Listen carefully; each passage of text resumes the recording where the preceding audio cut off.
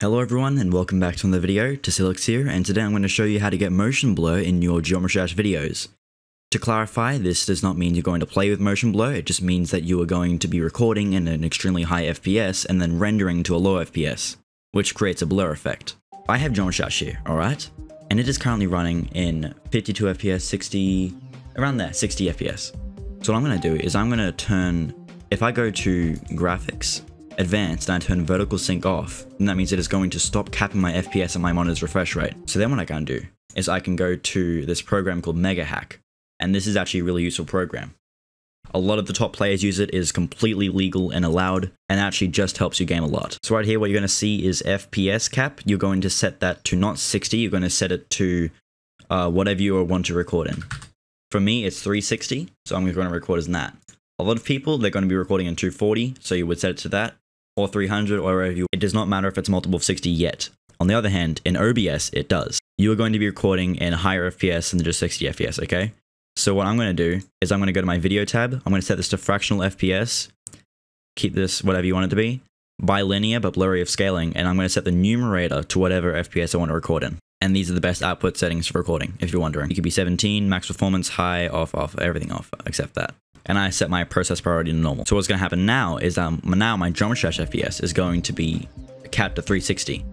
So right now I am running Geometry Dash in 360 FPS and it looks really smooth. As you can see, the screen looks very extremely smooth and it's like I would be playing with a 360Hz monitor, which is why this motion blur is such a good effect. Alright, that's enough. What I understand is how to record the game 360 FPS. Let me show you how to render it in 360 FPS. Alright, I got Vegas set up, so I'm going to show you how to render in high FPS. I'm going to drag on what I just recorded, which is not this, it's actually this. And so as you can see, I've got my gameplay.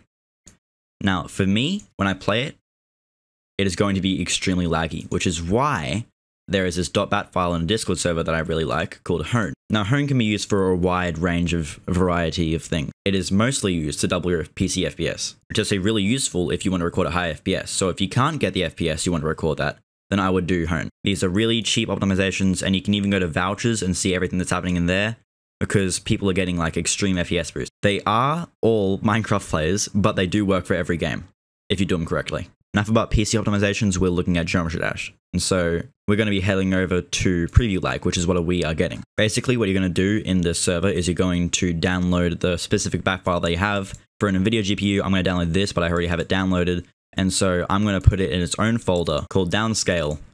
And I have the bat file right here. This is the bat file. It is supposed to be in its own folder, completely empty with nothing else other than your desired rendered video. So because I am getting a lot of preview lag on my high FPS video right here, I am going to drag that into here and I'm going to run the bat file. This needs to be called input.mp4. Make sure that your OBS is rendering to MP4 or else it will not work. I'm going to run the bat file and it is going to convert this FPS into a proxy which is what you can use to edit. Now, I don't really need to do this because it's a video, but that will not take a lot of time. I used to record in like, I recorded like a 30, 40 minute Minecraft video, it took like 10 minutes to work. So that would be really great. So let's say that it just finished downscaling and it was going to show up a proxy here. You are going to move that proxy into here and you're going to replace the clip with the proxy. So I'm going to go to replace and I'm going to choose where my proxy is. I haven't got a proxy, so I'm not going to do it because I didn't fully run the bat file. This is going to really help with your editing if you were editing in Vegas. On the other hand, in Premiere, which I also have over here, I'm going to show you how to render it in Premiere because some people use that as well. Now, because they're both flawed editing programs, oh Jesus, Premiere is not going to open it. Okay, it is. Wow. Jesus Christ, I didn't expect that.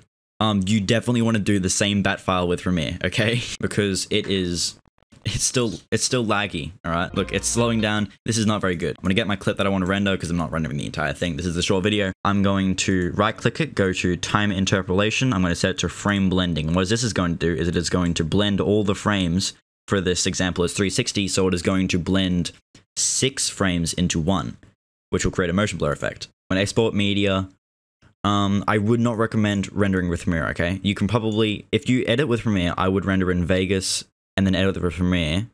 But Premiere is not very good at handling high FPS recordings. But if you are, go to VRBO and pass and go to 50, just make this as good as possible, okay? Frame blending, you know, everything. Premiere is not very good rendering, but if you don't mind the extreme quality and you just want to render it out easily, then just do that. On the other hand, if you were to edit and do everything in Vegas, that would be better for high FPS recordings.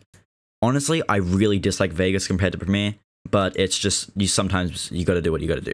Now for the Vegas settings, you're gonna have to play around with this, depending on which type of quality you want your videos to be at. Let me just get a clip of back on track gameplay. File, render as, and I have a bunch of presets, but it's gonna be MAGIX AVC slash AAC MP4, and this will get you the best quality. I have this right here as a uh, template, but what you're gonna do is you're gonna click on uh, either one of these two, uh, it doesn't matter which one, you're going to customize template and you're going to import all of these settings if you want your video to look the best of the best, all right? These are the best settings. That, that, and that. Audio sample rate should be what you're recording at in OBS. For me, it is 41.1 kilohertz, and so I'm going to keep that. And okay, and let me just render this as test, all right? As you can see, it was already rendering and you're already seeing the motion blur before the video has uh, even finished rendering. I forgot to mention, but when you're written, when you're editing with the uh, proxy, the proxy is way less quality than the input, and it is 1280 by 720, and it is in 60 FPS. So please do not render with a proxy as you're recording. You're going to uh, click on your thing, you're going to push replace, and you're going to replace it with your original really high FPS clip, alright? The proxy is only used for editing because you cannot edit on the high FPS recording very well unless you have a really good PC which most of you isn't going to be the case. For the best encoding lag possible, which is the least you're going to be recording to your solid state drive and not your hard drive. But if you record to your hard drive, I think that's fine too. It will just look way better and it will be less encoding lag and it will just it'll just be better if you record to your solid state drive.